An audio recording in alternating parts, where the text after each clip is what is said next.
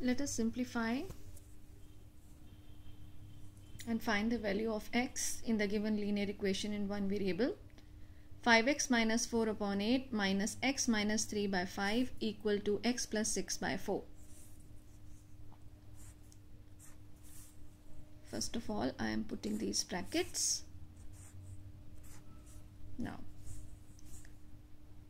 this implies take LCM on the left hand side.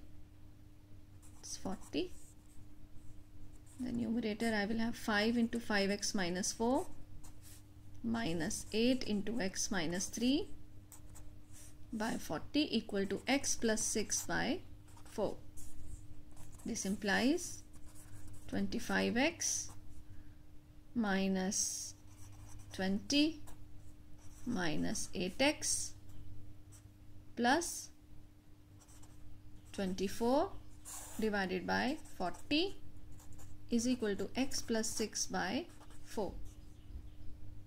This implies, now collect the like terms, 25x minus 8x that is 17x minus 20 plus 24 that is 4 divided by 40 is equal to x plus 6 by 4. Now cross multiply. What will you get?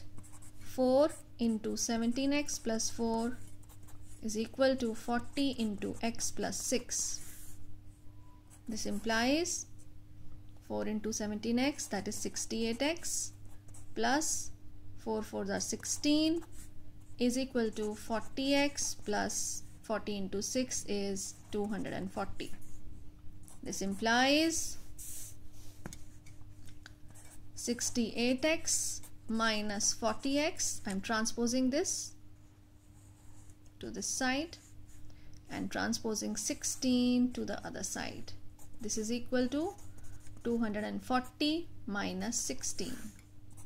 This implies 28x is equal to 224 this implies x is equal to 224 divided by 28